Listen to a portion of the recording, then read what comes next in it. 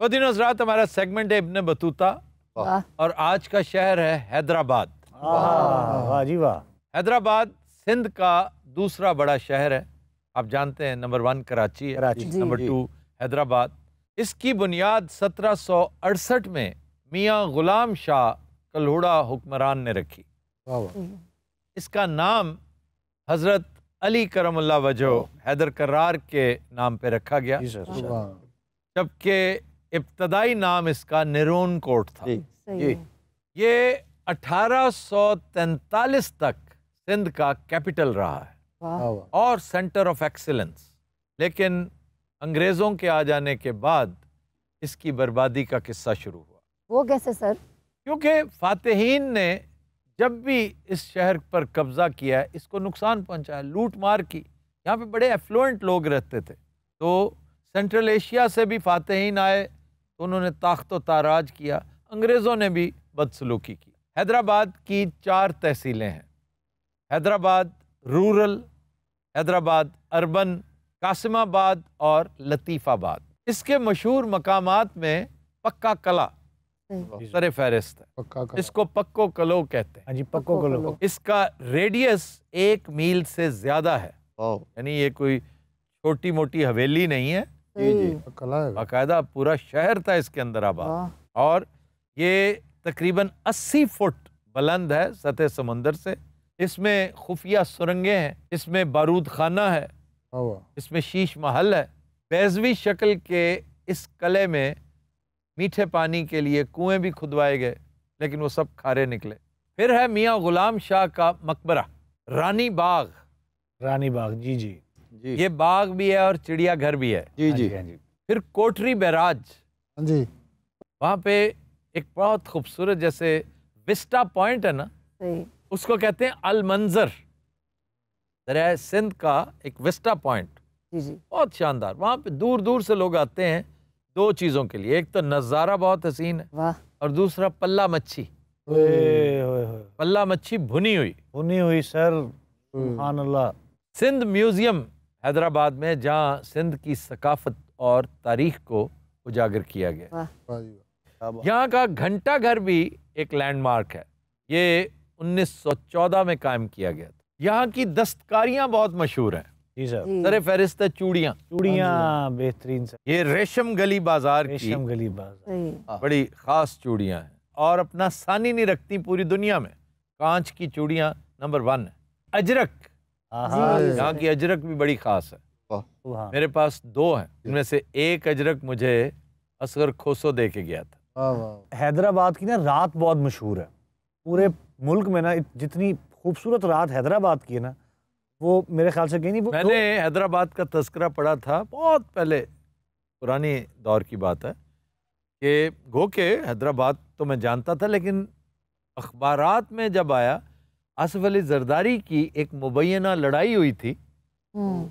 बलोचों के साथ अपने मतलब वो भी बलोच है मुख्तलिफ़ एक ट्राइब से। तो एक मशहूर शख्सियत को इसने आगे लगा लिया था। तो मासूफ ने मुबैना तौर पर स्टेन गन लहराई थी और फायरिंग भी की थी और बहुत सौ को आगे लगा कर पूरा हैदराबाद सर पे उठा इसलिए कि एक स्टेन गन पास और आपका मुखालिफ आगे लग के भागे।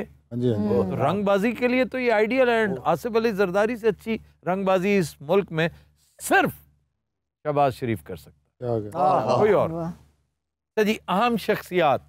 सर फहरिस्त film star. Mohammad Ali. Film star Mustafa Qureshi. Film star Mustafa Qureshi.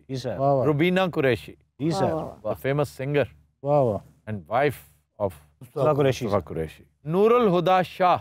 Oh yes the famous writer ji drama निगार हैं दानिश्वर हैं। जी सर वाह। सनम मारवी। वाह वाह। बहुत अच्छी सिंगर क्या बात है। हसन अली आफंदी। अरे ये कौन थे? ये सिंध मदरसातुल इस्लाम के बानी थे। अच्छा। वाह, बहुत बड़ी सर्विस थी ये। वाह। वाह। होशो शीदी बड़ा तगड़ा जर्नैल था टालपुर्स का। जी सर और इसी का नारा है जो आज तक उसे ज़िंदा रखे हुए है। कि मरसू मरसू सिंध होशो सावदा। जी। फिर क्रिकेटर शर्जील खान। वो जो लेफ्टी है। जी sir. Very good cricketer somehow वहाँ नहीं चलता जहाँ उसे चलना चाहिए। जी सर। अच्छा जनाब खाबे। सिंधी बिरयानी। अल्लाह तह वाली बिरयानी। तीन तह गोश्त आलू। आलू। चावल। और चावल। और चावल। क्या बात। और मौत। फिर जनाब वही पल्ला मच्छी अल्लाह मच्छी। और बॉइल्ड राइस के साथ।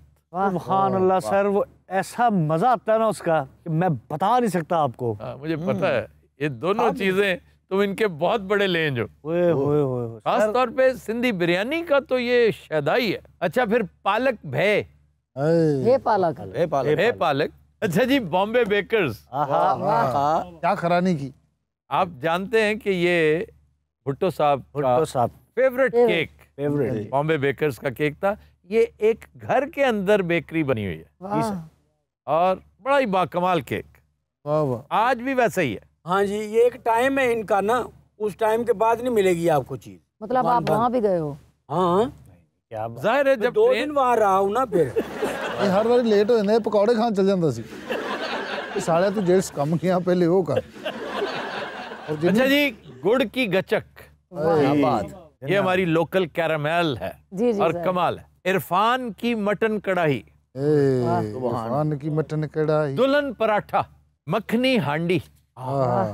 अच्छा जी हाजी साहब की रबड़ी। हर दुनिया में ऐसी रबड़ी कहीं नहीं मिलती जो ये है। मैंने तो उनकी दुकान भी देखी हाजी साहब ज़ाहिर है। उन्होंने मुझे दिखाया बनते हुए सारा। वो ये था ना जी कराची एक्सप्रेस में मैं आ रहा था ना इसमें वहाँ पे टिकियां लेने चले गए मैं रुक गया हूँ स्टेशन पे क्यों तुम रुक जाते हो हर स्टेशन पे क्या तुम्हें प्रॉब्लम क्या है ਭਾਜੀ ਹੁਣ ਪਾਕਿਸਤਾਨ ਦੇ ਹਰ ਸਟੇਸ਼ਨ ਤੇ ਇਹਦੀ ਫੋਟੋ ਲਾਈ ਉਹਨਾਂ ਥੱਲੇ ਉਹਨਾਂ ਲਿਖਿਆ ਜਿਸ ਟ੍ਰੇਨ 'ਚ ਇਹ ਚੜੇ ਉਹ ਟ੍ਰੇਨ ਆਪਣੇ ਪਕੌੜੇ ਆਪ ਲਾਵੇ अच्छा जी हाँ तो वो गाड़ी निकल गई जी हेलो क्योंकि कराची एक्सप्रेस थी मुझे पता नहीं था उसने एक हॉर्न दिया मैं क्या अभी रुकी हुई है कोई बात नहीं वो जब दूसरा दिया तो दूसरा उस प्लेटफार्म छोड़ रही थी मैं थोड़ा सा भागा ਹਾਂ ਭਾਜੀ ਕਿੱਥੇ ਟ੍ਰੇਨ ਤੇ ਕਿੱਥੇ ਘੋੜਾ गाड़ी निकल गई फिर मैं दो दिन वहां रुक गया मैं क्या चलो हैदराबाद तो देखूं फिर दो दिन तुम वहां पे काम क्या करते रहे ਇਹ ਭਾਜੀ ਫਿਰ 2 ਦਿਨ ਉੱਥੇ ਮੁਲਾਜ਼ਮ ਰਿਹਾ किसके पास ਉਹ ਜਿਹੜਾ ਵੇਚਦਾ ਨਹੀਂ 500 ਰੁਪਿਆ ਗਲਾਸਾ ਬਾਬਾ ਪੰਜ